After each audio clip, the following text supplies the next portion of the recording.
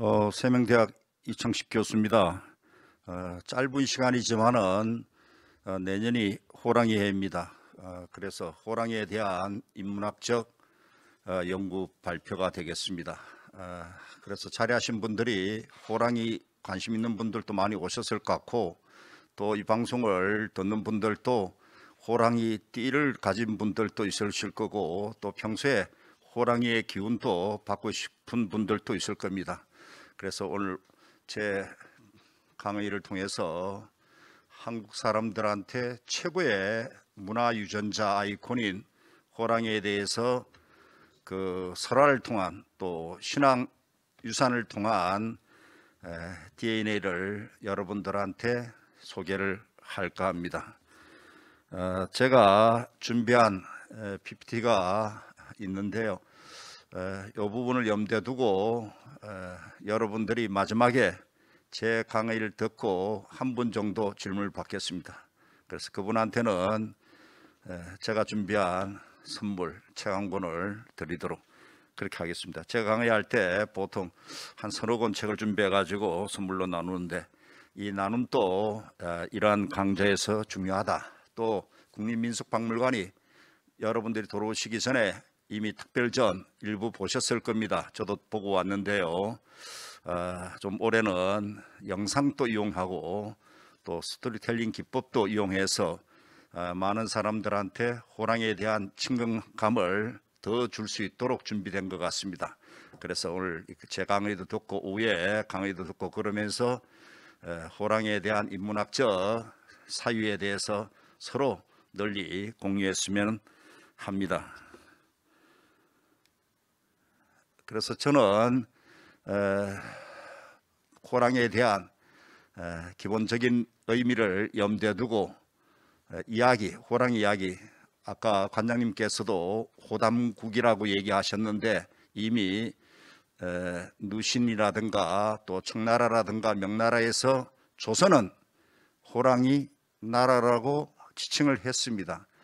어, 그래서 어, 널리 이미 한국의 대표 아이콘으로 그러다 보니 어떻게 자연스럽게 호랑이가 88 올림픽 때 호돌이 그 다음에 수호랑 뭐 이런 것 때문에 일찍 인문학적 가치가 세계 사람들한테 공유되는 심벌 또 에, 나름대로 꿈에 말하자면 또 다른 의미로 다가왔습니다. 그래서 그런 부분을 염두에 두고 소라 읽기를 하도록 하겠습니다. 아, 내년이 공교롭게도 백호의 해가 아니라 흑호의 해입니다. 에, 제가 사진 살폈을 때 이 사진이 아, 호랑이에 대한 느낌, 호랑이에 대한 특히 흑호에 대한 느낌 어, 우리나라 또 동아시아에서는 지금 흑호가 남아 있지 않고 인도 같은 데서 흑호가 남아 있습니다. 그렇지만 예, 전에는 흑호도 이 한반도를 포함해서 시베리아 아, 이러한 호랑이 로드라고 얘기할 수 있는 정도로 다양하게 분포되어 있는 경우입니다. 어, 그래서 우리가 백마 또 흑마 이렇게 얘기할 때 있는 것처럼 호랑이도 어, 인의 예지 신 했을 때 세 번째 열두 띠에 오는 겁니다. 그래서 그런 부분들은 한국 사람들의 이야기 속에 잘 나타나 있죠.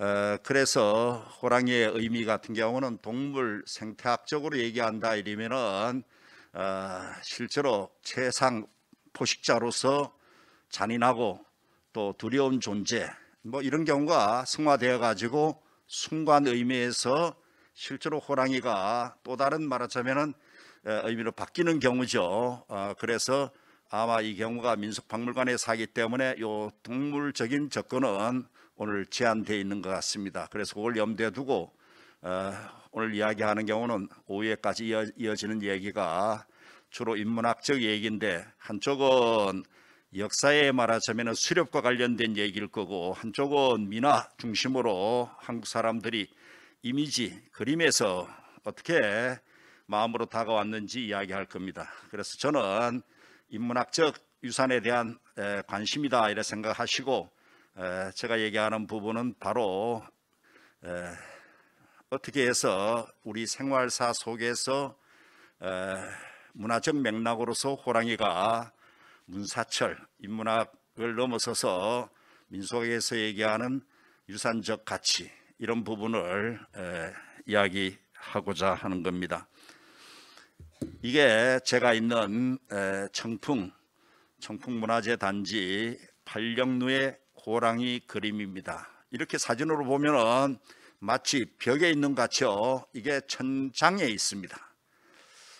에, 그래서 우리가 호랑이 했을 때 최고의 사진은 사신도 그렇죠, 그죠? 아, 그래서 이와 관련해 가지고 호랑이 같은 경우는 다양하게 에, 종교 청리와 함께 의미로 부각되는 겁니다. 그래서 이럴 때 문에 에, 우리가 한병루 했을 때 문이 없습니다. 원래는 그런데 가장 조선시대 루각 중에서 대표적인 경우가 이게 한병루와 쌍벽을 이루는 팔령루 입구가 바로 문으로 되어 있습니다. 그래서 그 천장에 이 호랑이가 한쪽으로 보면은 대단히 경외감을 느끼는 두려운 존재, 마치 사찰의 사천왕 느낌을 갖고 있기도 하고 한쪽으로 쫙 보면은 전형적으로 이웃 아저씨가 에, 잘 왔다 안내하는 것 같죠. 그래서 이런 부분들은 특히 에, 나쁜 것을 쫓아내는 요사이 얘기하는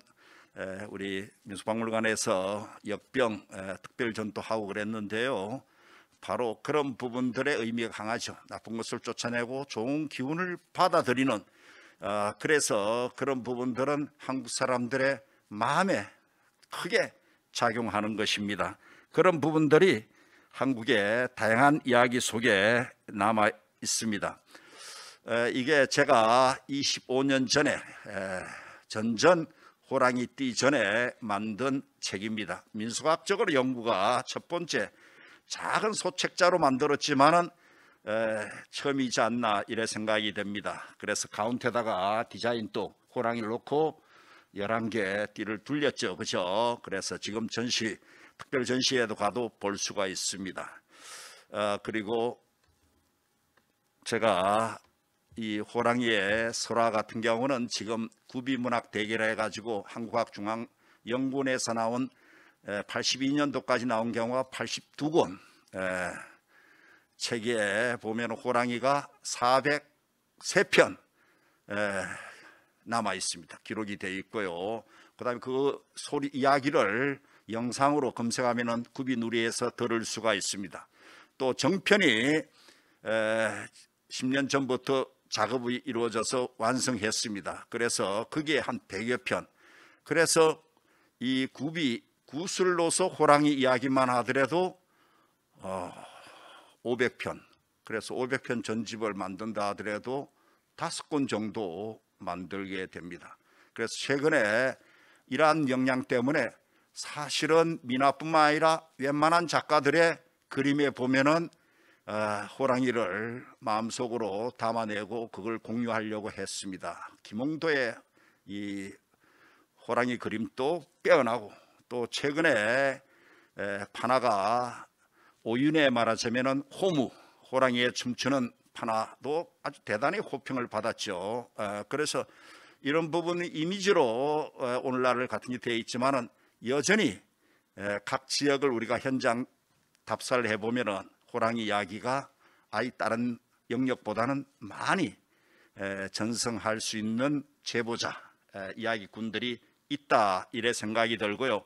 제가 오늘 이야기하는 경우는 주로 어, 지금까지 호랑이 소라 이야기 같은 경우는 에, 기존에 있는 문은 또 구비 자료를 염두에 두고 이야기했는데 저는 현장을 염두에 두고 오늘 호랑이 이야기를 하겠습니다. 그래서 우리 이야기 같은 경우는 흔히 얘기할 때 그 이야기가 신이나 영웅, 신성하다고 얘기하는 이야기 같은 경우는 신화라고 얘기합니다. 그래서 그게 대표적으로 당군 신화가 되겠죠. 그죠? 그 다음에 떡 하나 주변 앉아 먹지 같은 경우가 바로 에, 우리가 민담이라고 흔히 얘기합니다. 흥미본이죠. 그죠? 그 다음에 호랑이 바위라든가 호랑이 말한 무덤 관련된 이야기는 전설이 되겠습니다. 조금은 비극적 요소가 나타나 있는데도 진실성이 강하게 반영돼 있죠. 호랑이 무덤 같은 물적 증거를 바탕으로 해서 민담은 아주 재밌게 그래서 전래 동화 요사이 호랑이를 이용한 전래 작가들이 만드는 경우나 전래 동화책 같은 경우 아마 특별전에도 그런 부분들이 책으로 소개가 돼 있고 또 그걸 학생들이 또 어린이들이 볼 수 있도록 안내되고 있죠. 그래서 그런 부분들 같은 경우는 에, 민담으로 이렇게 되어 있습니다. 그러다 보니 어떻게 이 표제를 걸고 있는 바로 웃음을 촉발하는 내용들이 많죠. 그러면서도 호랑이의 생태적 본능 같은 경우는 포식자로서 그죠. 그러다 보니 어떻게 오늘날 우리가 코로나 이런 역병과 맞먹는 정도로 우리 인류 또 한국 사람들한테는 두려움의 존재였습니다. 그러다 보니 어떻게 그와 관련된 이야기들이 또 많죠. 그죠? 그래서 경험담, 역사적 사실 근거한 경험담도 의외 많고요. 그러면서 이야기 좋아하는 사람들이 그걸 빗대서 아이들한테 교육용으로 재밌게 하는 이야기, 호랑이 이야기들이 많고요. 그 다음에 그런 부분들을 또 어떻게 어, 가능하면은 교훈적 목적도 집어넣고 그러면서 시대를 풍자하는 비판하면서 에, 그 권위에 대해서 일반 사람들이 흔히 민중향유청이 어떻게 대응하는가 이런 부분 특히 공동선의 가치를 어떻게 이야기하는가 호랑이가 호랑이 이야기에 많이 에, 내재되어 있습니다. 그래서 저는 에, 호랑이 띠 연구 책에서 네 가지로 분류했고 그 이후의 연구자들도 이 사례로 거의 어, 따르고 있습니다. 아, 요게 사신도 얘기입니다. 첫 번째 영상 이걸 먼저 올린 경우는 우리가 흔히 얘기하는 에, 고구려 백화에서 에, 자청용 우백호 이래 얘기하죠, 그죠? 용호 상박 얘기할 때 서쪽을 말하자면 백으로 그죠 호랑이로 이렇게 인식을 하고 있습니다. 그리고 사신도라 그랬어요. 내 신이라 얘기했어요. 그죠? 그래서 한국 사람들한테는 일찍 신으로 존재되어 있어요. 그래서 두려운 존재면서 이 경우는 사고는 바로 우리 고대 사유, 원시 사유라 할 수 있는 토테미즘, 에리미즘, 샤머니즘 했을 때 바로 토테미즘과 관련되는 내용들이죠. 이게 당군 신화에 호랑이와 곰 이야기가 나오죠. 그죠? 그래서 일부 말하자면은 아주 합리적인 사람들 같은 경우는 야, 곰, 호랑이 풀 뜯어먹냐? 이래 얘기하는데 토템에 대한 사유, 에, 우리 고대에 말하자면은 이해를 해야만 되겠죠. 그죠? 당문신화도. 그래서 곰과 호랑이 토템으로 한 종족과 환인, 환웅 종족과 결합을 하는 이야기입니다. 그죠? 그 다음에 금기상, 이런 경우를 우리가 흔히 얘기 인류의 사유 중에서 주술, 종교, 과학 얘기할 때 과학 속에도 주술이 있고 주술 속에도 과학이 종교가 있고 종교 속에도 주술 에, 우리가 흔히 얘기하는 과학이 있습니다. 그래서 우리가 오늘날 우리가 주술을 했을 때 오래된 전통 지식 과학적으로 100% 증명이 되지 않지만은 오랫동안 경험에서 공유되는 경우죠. 그게는 예언, 전복, 금기, 의례, 행위 이런까지도 포함되겠습니다. 그러다 보니 어떻게 고구려 이 사신도의 신 이야기 같은 경우는 그 우리가 당군 신화와 얘기할 때는 바로 토템 이 부분을 염두에 두고 이해, 이해 를 하면 좋겠다. 이런 얘기입니다. 아, 그래서 제가 네 개 유형에서 앞에서 얘기한 것처럼 에, 우선 먼저 착해서 은혜 갚기 유형 이것은 바로 조선시대 가치 중에서 충의 효 특히 효의 가치를 우선했죠. 그죠? 그래서 일부는 말하자면 이 이야기 속에서 효의 이념이 반영되기도 했지만은 우리 한국 사람들한테 착하면은 복이 받는다. 그러다 보니 나중에 전래민당 같은 경우는 행복한 결말, 해피엔딩으로 끝나죠. 대체로 전래 동화 같은 경우는 아, 그런 부분으로 아, 전환되는 이야기로. 그래서 이건 교육적 기능이 있으면서도 아, 재미가 있죠, 그죠? 그래서 아, 제가 있는 이야 지역에서 조사된 자료에 며느리가 에, 어렵게 시아버지가 호랑이 한, 한테 잡혀 먹는 걸 목격을 해요. 그래서 업고 있던 아기를 얼른 말하자면 어떻게 참 놓습니다. 그죠? 그런 경우는 제천뿐만 아니라 전국적 분포를 많이 가지고 있는데요. 아, 그래서 결국은 호랑이가 아이를 물고 가죠. 가지만은 나중에 아이를 돌려주고 덤으로 보너스로 아, 선물 주죠, 그죠? 에, 다른 고기도 갖다 주고 하, 며느리 그 효심에 감복하는 이야기 이런 부분 같은 경우는 어, 이야기판에서 전례 말하자면 사랑방에서 상당히 호응받았던 이야기의 하나의 전형입니다. 그래서 착해서 이런 이야기 같은 경우는 어, 상당히 많이 돼 있는데 그 중에서 어, 제가 있는 가까운 어, 영월 주천에 에, 의호총 또 호랑이 무덤 같은 경우는 세계 한국밖에 없어요. 그것도 한 10개 정도 전국에 의총이 존재합니다. 희한한 일이죠. 그죠? 물론 개 무덤도 있고 말 무덤도 있고 그래요. 그렇지만 어떻게 호랑이 무덤 같은 경우는 앞에서 얘기한 대로 착해서 효와 관련된 이 부분이죠. 그러면서 민속에서 심요사리와 연결되어 있습니다.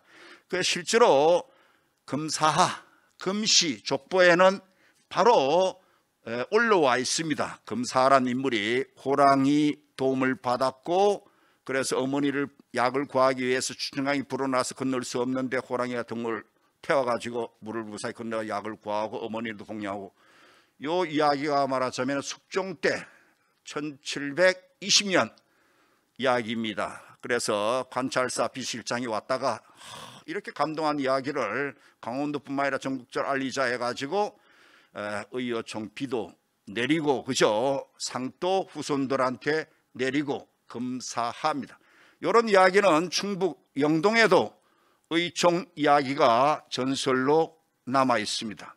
그래서 그 마을에 가게 되면은 의호, 의로운 호랑이를 말하자면은 크게 상도 상을 만들어 놨어요. 이미지로 조각품으로 만들어 놨어요. 아마 전국에서 호랑이 상을 제일 잘 만든 경우가 바로 어, 영동 어, 황간에 있습니다. 그죠? 박씨 문중에서 그래서 바로 그 이것도 똑같이 주천의 효자 이야기처럼 되어 있습니다. 그런데 어, 주천의 이야기 같은 경우는 그 금사가 죽자 호랑이가 가까이 와서 그 자리에서 죽습니다. 그래서 무덤을 만들었다 이야기하고 후손들이 제사도 지내주고 벌초도 하고 그 다음에 오늘날은 마을 주천 주민들이 1년에 한 번씩 제사를 지냅니다. 요도 마찬가지 영동 같은 경우도 의총에서도 어, 그 후손들이 제사를 지내주고 실제로 호랑이 이야기 같은 경우가 그게는 인간화된 인격화되어 있는 부분으로 제사를 받는 대상으로 되어 있죠, 그죠? 그런 이야기가 어, 의총, 의호총 또 호총 이야기로 전설이면서도 실제로 여기에는 상당히 말하자면 우아한 그러면서도 사람들한테 진실을 끊임없이 정자해 주는 대개 이게 문집 같은 데서도 사실 팩트에 근거했다. 실제로 경험담이다. 이렇게 얘기하죠. 그죠? 예. 그 다음에 여기에 호총 그죠? 오후에 수렵과 관련해서 어, 우리 에, 다른 분이 강의를 해서 그때 그 자세히 들으시고 왜이 호총을 먼저 사진과 실제로 이 창기 이야기 안 하면은 뒤에서 잠깐 얘기하겠습니다만은 창기는 호랑이한테 잡혀가면은 에, 그래서 죽은 귀신을 창귀라 합니다. 오늘 다른 건 다 까먹더라도 호랑이 귀신 창기는 기억을 좀 해줬으면 좋겠다. 그래서 이 백두대간을 따라서 어, 지금 조사된 게 한 300개 에, 우리가 에, 이 호식 장이 남아 있습니다. 이때 반드시 시루를 그래서 호랑이도 고양이도 쥐를 잡으면 머리를 남겨놓죠. 호랑이도 사람을 잡아먹으면 머리를 남겨놓습니다. 그래서 가족들이 유족들이 찾아가지고 그 자리에서 화장을 하고 바로 시루를 엎어놓습니다. 그 이야기예요. 그죠? 예, 여러분 사실 증거하는 정, 이야기죠. 어, 그러면서 그때 그 이야기 같은 경우에서 중요한 경우는 우리가 배틀에 쇠가락을 꽂았습니다. 벼락입니다. 그렇게 함으로써 창기가 나가지 못하게 우리가 또 호식을 당하는 경우가 생기려면은 바로 창기가 나 돌아다니면은 또 피해 대상자가 생깁니다. 그래서 꼼짝 못하게 가다 놓기 위해서 쇠가락을 꽂아 놓는다 이렇게 얘기하고 있습니다. 그래서 공교롭게도 백두대간을 따라서 자양하게 분포되어 있는 에, 풍속입니다. 그와 관련된 이야기가 에, 많이 남아 있죠. 그래서 여기에 에, 잔인해서 잡아먹기. 호랑이 같은 경우는 우리가 여 제목에 있는 것처럼 두려움의 존재이면 사실입니다. 아, 오늘날 코로나가 두려움의 존재면서도 이제 또 다르게 말하자면 이 인류가 극복해야 될 대상입니다. 그죠? 그래서 마찬가지야. 한국 사람들은 1년 동안 이미 비숍 여사도 얘기하 기록하고 있죠. 그죠? 문상하는데 반년 호랑이 피해 때문에 두려움을 떠는데 또 반년 지냈다 하고 할 정도로 그죠. 그러다 보니 어떻게 에, 포수 에, 우리가 이 사냥꾼 이런 부분들에 대해서 다양하게 이야기가 남아 있죠. 어, 요 이야기 같은 경우는 실제로 에, 표면적으로 읽어 보면은 오누이까지 잡아먹기 위해서 그런데 우리가 남매일 때는 그렇지만 삼남매일 때는 호랑이가 먼저 어머니를 잡아먹고 아기 이를 잡아먹고 아기를 뽀득뽀득 씹어먹는 이야기까지도 이야기꾼들이 아주 실감나게 하는 대목입니다.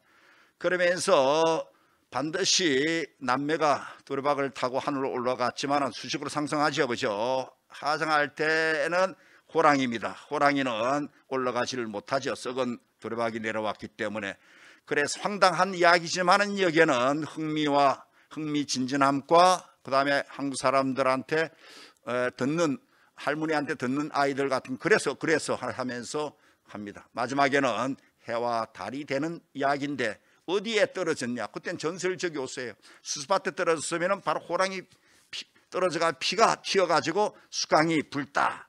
또 강원도 같은 경우는 붉은 메밀이 있어요.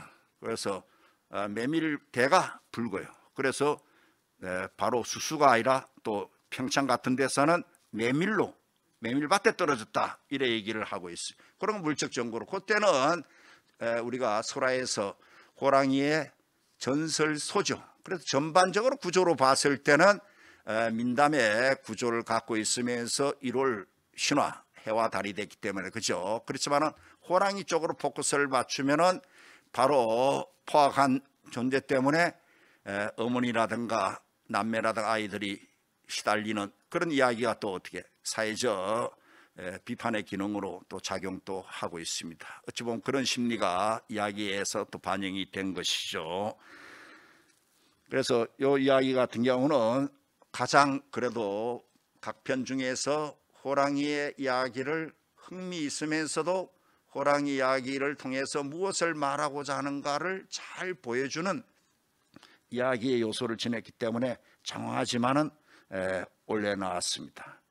어, 그래서 이 부분은 어, 여기에 나와 있는 것처럼 오파는 해가 되고 누이는 달이 되거라 그랬을 때 어, 호랑이 이야기가 우리 당군 신화만큼이나 또 이 신화적 성격을 갖고 있죠. 이런 경우를 우리가 잔존 신화를 합니다. 그러다 보니 어떻게 호랑이를 이용해서 금국 신화에도 많이 나오죠. 왕건이라든가 이승계라든가 또 왕건의 조상인 호경 그죠? 아, 그래서 동굴이에 말하자면 쫓겼어 호랑이한 쫓겼어요. 그래 호랑이가 계속 한 사람 표정을 해.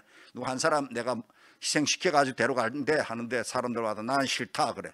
그런데도 결국 어떻게 호경이 옷을 던지자 호랑이가 그걸 물므로써 그 많은 사람들 중에서 호랑이 밥이 되는 경우 호경이야. 그런데도 역설적으로 호경이가 밖으로 나가는 에서 굴이 쫙 무너져 버리죠. 그죠? 나머지 사람들은 몰살 당하고 호경이는 결국 말하자면은 위대한 영웅과 연결되는 조상으로 그죠? 그래서 그런 이야기 같은 경우는 건국 신화와 연결해서 상당히 말하자면은 어, 돼 있죠. 어, 그래서 이것은 12지 어, 아까 사신도에서 우리 호랑이 그림을 본 것처럼 여기도 형태 있어요. 그래서 이걸 왜 보여주나 하면은 어, 우리가 자축 인묘했을 때 내년엔 토끼띠야. 우리가 토끼다 같은 경우도 토끼, 토끼하고 호랑이 이야기에서 나왔죠. 어, 그리고 우리 지금 소개했던 우리 과장님도 호랑이 띠예요. 그래서 호랑이띠 부분들 같은 분들은 호랑이에 대해서 관심을 갖는 뿐만 아니라 호랑이 되는 해 때 덕담을 위해서 그죠 옛날부터 어른들이 그런 이미지를 통해서 나쁜 것을 제한하고 그죠 억누르고 좋은 것을 북돋은 어찌 보면 동기 감흥적 사고와 또 미래 지향적인 의미를 서로 교감하기 위한 장치였다 이래 생각을 하시면 되겠어요. 그러다 보니 어떻게 우리가 음양 오행 원리를 바탕으로 해서 12띠까지 확대가 되는데 이런 부분들을 통해서 에, 우리가 넓게 얘기한다 이러면은 뭐 신앙까지 확대될 수는 없지만은 속신 그래서 앞에서 얘기한 것처럼 오랜 경험에서 나오는 그래서 그런 이야기가 또 이어서 나오죠.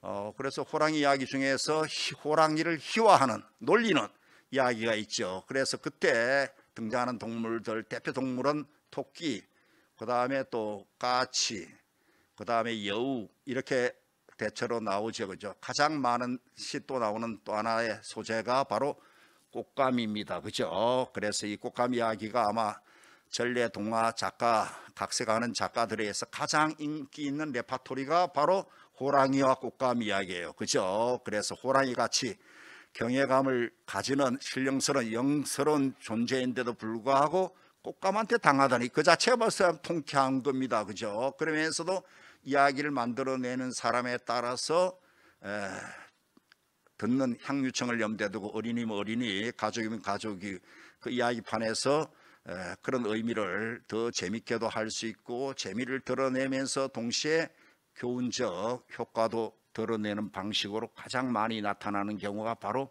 호랑이와 꽃감 이야기입니다. 그래서 이 이야기는 여러분들이 아마 아, 애니메이션으로 또는 어, 전래 동화 말하자면 각색된 책을 통해서 많이 예, 봤을 겁니다. 그죠? 그래서 요 우리 전체 우리 구비문학 대계라든 이런 게 나온 이야기 중에서 민담이 그렇게 많이 체록이 되지 않습니다. 많이 체록된 게 신화도 많이 체록되지 않고 그죠?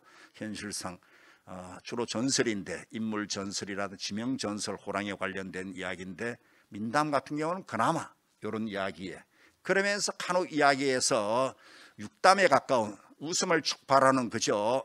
여성의 그 시기 이야기를 물구나무 써서 가는데 호랑이가 만나 잡아먹으려고 하는데 이상하게 생긴 동물 만나가지고 호랑이가 주랭랑을 낳는 이야기가 요 웃음을 촉발하면서 아주 좀 19금에 가까운 이야기가로 나아가죠. 그죠? 그래서 어, 꽃감 이야기 같은 경우는 어, 그 당시의 상상을 많이 불러일으키는 얘기입니다. 이것은 에, 뭐 경험담이라든가 사실담을 넘어서서 에, 이야기하는 사람들의 상상의 나래를 많이 펼쳐가지고 에, 독자의 반응에 따라서는 이야기를 더 보탤 수 있는 그래서 소도 에, 끌어들이고 도둑도 끌어들이고 그러면서 에, 오히려 호랑이 온다 했을 때는 아이가 울음이 그치지 않은데 나중에 에, 꽃감 온다 했더니 아이 얼음이 뚝 떠요. 그 호랑이 같은 입장에서는 어떻게 에, 우리가 동일시 했을 때 상당히 어떻게 충격적이죠, 그죠? 아, 그래서 결국 이야기가 많이 확장할 수 있는 야익군에 따라서 어, 하는 이야기입니다. 그래서 이 이야기도 가장 재밌기 때문에 많이 넣었고요. 그 다음에 까치와 호랑이 어, 이야기 같은 경우가 민화로 그래서 요 관련해서 왜 많이 만들어졌는지는 아마 오늘 오후에 윤열수 관장님 이야기에서 더 들을 수가 있겠습니다. 그 다음에 끝으로 네 번째 유형의 스스로 변신하기. 그래서 이 호랑이 이야기 중에서 문학화, 그 다음에 예술적인 성격이 가장 강한 유형이 바로 변신 유형이 되겠습니다. 물론 당군 신화에서도 호랑이하고 곰이 말하자면 곰은 웅녀로 변신해 가지고 환인과 결혼해서 단군을 낳는다. 호랑이도 당연히 변신했겠죠, 그죠? 이미 당군 신화에도 변신 화소가 등장하는 것처럼 강감찬 이야기부터 대표적으로 삼국유사에 나와 있는 김현 가모 이야기가 되겠습니다. 그죠? 김현 가모 이야기. 그래서 사찰 연기 이야기, 희방사 이야기 같은 경우라든가 어, 호, 호갑, 호합사 이야기 같은 경우 그래서 저를 만들어내는 이야기에서 희방사 정말 오히려 어떻게 희사를 많이 함으로써 기쁨에 말하자면은 보시를 많이 함으로써 절이 만들어지는 이야기에서 바로 호랑이 말하자면은 에, 가 호- 처녀를 물고 왔어요. 그죠? 그런데 스님이 말하자면은 그 호- 처녀를 다시 말하자면 구제해 주죠. 그죠? 그렇게 해서 에, 경주의 부자 또는 지역의 상주의 부자가 이야기에 따라서는 에, 시주를 함으로써 희망사가 만들어지는 이야기 이런 부분들입니다. 그러면 변신 이야기 김영감어에서도 볼 수 있듯이 어, 그 당시에 말하자면은 호랑이가 희생이 되는 이야기인데 이런 경우는 우리 민속에서 여기도 그렇지만은 다양한 우리가 탑돌이 같은 놀이의 유래라든가 또 민속에서 얘기하는 공동체 공동선의 가치를 소중히 하는 이런 부분의 이야기로 이 변신 이야기가 많이 드러나고 있습니다. 그래서 이것은 뭐 우리가 뒤에 소설로서 그죠 박지원의 호질 같은 경우도 그런 패턴의 한 부분이 되겠다. 그러면서 어, 우리가 흔히 호랑이가 말하자면 짐승 그 자체지만은 그게 인간이 교감하는 과정에서 두려움의 존재도 되지만은 그런 부분에 대해서 그걸 극복하려고 치유로서 대응하는 논리 때문에 오히려 에, 우리가 부적이라든가 주술적 행위라든가 이런 부분이 드러나는 경우죠. 그래서 이런 부분은 뒤에 우리가 호랑이 신앙 이야기하면서 같이 얘기할 수 있는 에, 우리 설화 유형이 바로 어, 스스로 변신하기 이야기가 되겠습니다.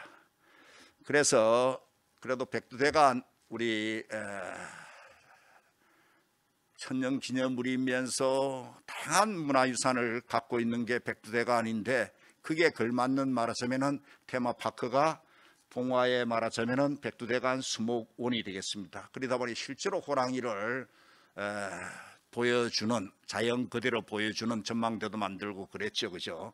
아, 그래서 이런 부분들 같은 경우는 실제로 호랑이 가지고 어떻게 돼야 되는가? 우리 전시 특별 전시도 국립박물관에서도 하고 여기 오늘 지금도 하고 있고 이러지만은 아이 또 어떻게 희한하게도 호랑이 박물관이 없어요. 별 박물관이 다 있죠, 그죠? 열세 박물관까지 다 있는데 그래 생각한다 이러면은 이런 부분도 시사하는 바가 많다.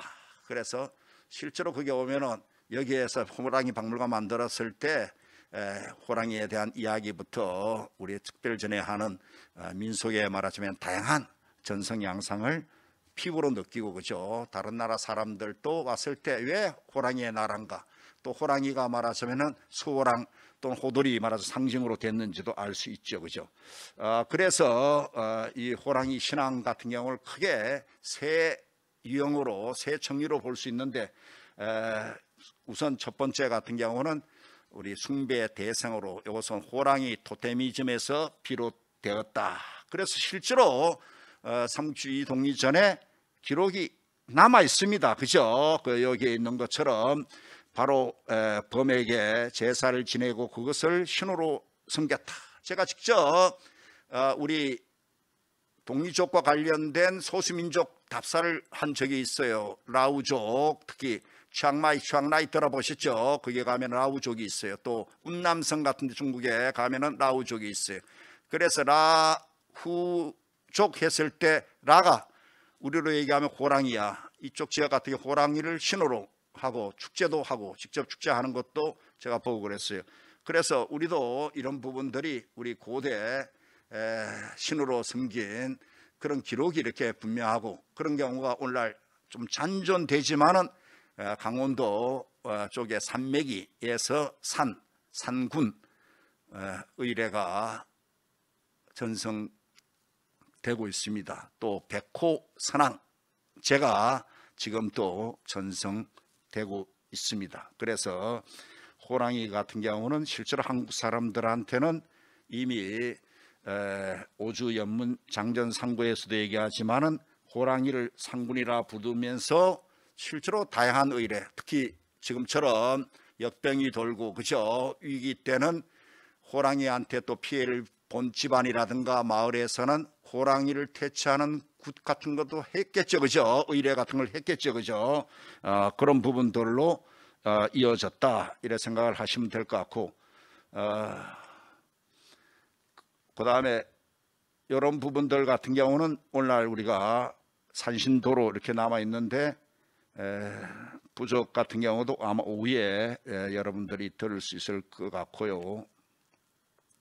그 다음에 여기에 제가 오늘 두 번째 키워드 에, 다른 건 다 까먹더라 하더라도 산신은 호랑이를 모십니다. 호랑이와 같이 함께합니다. 그래서 산신의 심부름꾼은 호랑이로 그러다 보니 어떻게 호랑이가 막바로 산신 또는 산신 대리자 그렇게 되겠죠, 그죠? 우리가 산신의 유고시 뭐 호랑이가 대신한다든 이런 식으로 인식됐겠죠, 그죠? 어, 그래서 돼 있고 그러면은 반대로 어떻게 마을의 선왕신 같은 경우는 누가 심부름꾼인가 말입니다. 그래서 선왕 오래된 선왕에는 철마가 나옵니다.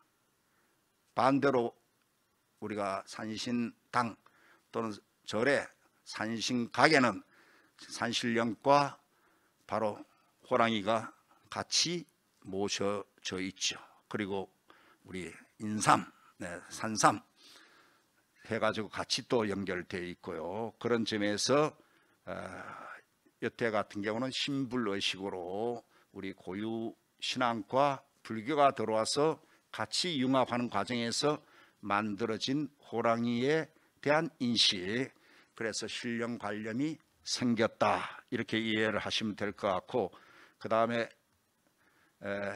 마지막 이 부분 같은 경우는 앞에서 우리가 호식총 얘기도 하고 그죠 또 우리가 속신관념으로서 신령화되는 그런 부분들 같은 경우 그래서 그런 경우에서 실제로 황여도 구치라든가 또 동해안 별신굿에서 호랑이 관련된 의례가 남아 있습니다. 그래서 최근 같은 경우는 그런 경우를 재연도 하고 다시 복원해서 지역의 문화유산으로 또 전성을 하고자 하죠, 그죠? 그 대표적인 경우가 바로 곧 얘기하는 포항, 그 다음에 이 울산 또 그 위로 말하자면 영덕 이쪽에 분포되어 있는 바로 동해안 호탈 굿이 되겠습니다. 또 물론 항해도 여기에도 이 호탈굿 같은 경우가 전성돼 남아 있고 그러면서 호섭 호섭라고 이야기하죠. 그 다음에 또 한 가지는 말하자면은 제일 밑에 우리 볼 수 있듯이 여기에 띠놀이에서 우리 열두띠 전라도 같은 농악에서 잡생놀이를 해가지고 호랑이라든가 열두띠를 지프로 만들어서 탈을 만들어 가지고 놀죠 그죠? 그런데 남아 있고. 또 영월 단종과 관련했을 때 띠놀이를 통해서 우리가 호랑이가 존재 놀이로 연희로. 그래서 실제로 이런 부분들 같은 경우는 넓은 의미의 앞에서 얘기하는 우리가 호랑이 신앙까지 범주는 아니더라 하더라도 어, 우리가 민속 신앙 특히 마을 신앙이라든가 집안의 신앙, 가정 신앙이나 또 우리가 무속 신앙 이런 쪽으로 해서 호랑이에 대한 때로는 말하자면 처방도 내리고 때로는 말하자면 그런 부분의 호랑이의 기운을 통해서 좋은 쪽으로 활용을 하는 그런 흔적들 같은 경우가 이런 자료에서 우리는 읽을 수가 있다 이래 생각을 하시면 될 것 같습니다. 아, 그래서 어, 호랑이의 신앙 의식 같은 경우는 크게 유형으로 염두에 두고 보면은 새 정의로 한국 사람들한테 자리했다 이렇게 말씀드릴 수가 있을 것 같습니다. 이게 바로 범굿의 탈, 범탈과 그런 경우입니다. 그래서 범한테 주로 물려준 그래서 창기를 그저 다시 한번 이 마을이라든가 집안에 오지 못하게 하는 그런 경우죠, 그죠? 어찌 보면 오늘날 우리가 코로나 같은 경우에서 상당히 말하자면 그게 치명적일 때는 거기에 당하는 가족이라든가 집단은 엄청나죠, 그죠? 우리 지금 자체도 그런데 그랬을 때 반드시 그런 부분에 대해서 풀어내려고 하는 지혜가 이런 부분에서 이런 연의를 통해서 이런 놀이를 통해서 나타났다. 그래서 부분적으로 오늘날 우리가 민속학적으로 평가하면은 치유적 기능이 있다 이렇게 여러분들이 이해를 하시면 좋을 것 같습니다. 아, 그래서 어, 제가 주로 설화라든가 민속신앙 얘기하더라도 OSMU 그러한 소스를 어떻게 말 인문학적 가치를 창출해서 미래로 에, 새로운 말하자면은 문화 패러다임을 만들어 가는가 그런 데 대해서 제가 제일 많은 관심을 가지고 또 상징화 작업할 때도 그렇고 어, 우리가 마스코트 캐릭터 할 때도 제가 가장 많이 관여해 왔습니다. 그래서 어, 지금까지 제가 호랑이띠 연구 책을 내고 이후에 호랑이 관련된 자료도 많이 모았지만은 에, 관련된 전시 관련된 말하자면은 행사 같은 경우는 거의 다른 일을 하면서 끊임없이 봤습니다. 어, 그래서 실제로 오늘 우리 오후에 하는 분들하고 에, 우리가 홍, 호랑이 연구에 정도 프로다 얘기하지만은 에, 저는 오- 오로지 에, 현장에서 이러한 경우를 관찰하고 현지적 관점에서 에, 해석한 그런 얘기입니다. 또 그걸 바탕으로 해서 어떻게 말하자면 호랑이에 대해서 그래서 아까 에, 봉화에 있는 수목원 같은 경우도 에, 새로운 말하자면은 제안을 할 수 있고 거기다 호랑이 박물관 같은 거 하나를 추가하면 좋겠죠, 그죠?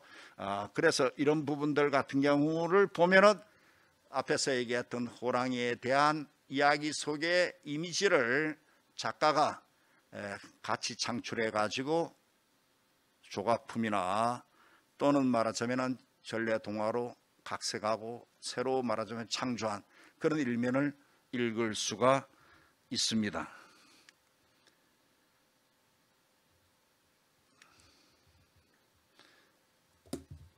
내년에 호랑이 뛰기 때문에 이게 호랑이 우표가 제가 조사를 해봤더니 뭐 다른 말하자면 상징물로도 많이 나왔지만은 호랑이 이미지가 가장 많이 우표로도 에, 에, 나온 것 같습니다. 아, 그래서 이 호랑이 해 여러분들이 에, 우리가 어떤 이미지를 가져가야 될 것인가? 앞에서 얘기한 대로 호랑이 같은 경우는 그 짐승 최상위의 동물 포식자 이미지에서 인간의 의미를 인격화를 하죠. 동일시하죠. 그죠? 호랑이가 피해를 주고 호환이라는 말하자 어마어마한 치명타를 준다 하더라도 그걸 극복하려고 하는 과정에서의 이미지가 만들어지는 겁니다. 그러다 보니 어떻게 우리가 호랑이가 갖고 있는 마인드를 통해서 에, 집단이면 집단, 조직이면 조직 활성화를 하려고 애를 쓰는 겁니다. 아, 그런 점에서 호랑이가 갖고 있는 근면, 풍모라든가 행동, 그래서 그런 고사성어로 뭐가 있습니까?